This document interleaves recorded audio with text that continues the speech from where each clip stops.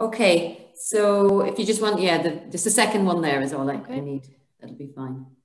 Um, so, I mean, just very briefly, I suppose what we've already been doing is the lectures, the workshops um, and meetings, and we try and um, the students, when they're out, they do lesson evaluations and the schemes of work, they have to include them within that. We have the Development Education Day, they, some students do their action research projects on it. So there's a wide range of things that are going on there at the moment. Now the focus is predominantly on the year one. Um, and what I'm really interested in now is kind of focusing more into year two. So I think if we just go on to the next one, Deirdre, because I'm just going to do this very fast. So this is, I suppose, really where I want to bring it forward to. Um, we've already started this year um, with Self Help Africa. Hugh came down and he did a work, new workshop with our second years, which was great. And we're really focusing now on the, the why, because in first year we kind of focus on how do you bring development education in.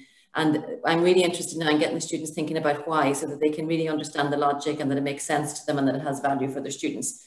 Um, and so going forward, I suppose I want a little bit more in terms of the sharing of resources, um, particularly in relation to methodologies, and we have quite a few artifacts that we've built up over the years with Ubuntu funding. So we're starting to share those now for the asynchronous learning, and I'm going to continue to do that as we go forward. And we're really pushing the students to bring, um, in second year in particular, to bring um, the DE element into their schemes of work and to show that they are actually doing this then in their practice as well.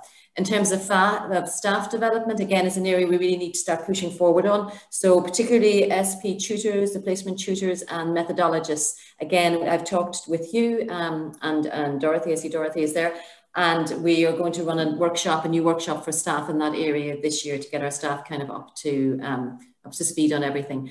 And we want a lot, lot more of the sharing of the resources and um, ideas and dialogue in and around about that.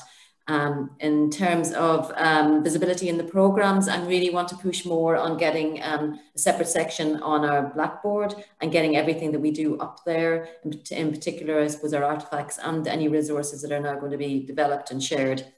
Notification of events, and I have a I had last year a developed education committee and I'm reforming this year. Everything's kind of behind this year.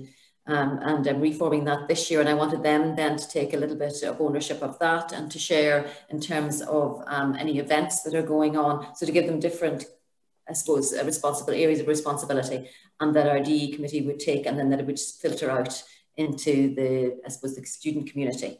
Um, and uh, yeah, I'm interested, I suppose, for the development of the TY program. So again, this year I'm doing, going to do online and I'm going to try and do, I suggested with the local school that we work on in, in particular, that um, I might do a little bit for, say, uh, they're having difficulty getting school play um, work experience for their students. So I said, look at, I'll do work with students on and off using some of our PME students as well that are in that school and that we might do something with the students in and around about DevEd and kind of do a little bit of work experience, get them doing a little bit of research. And that would help our own students to be predominantly PME year two students.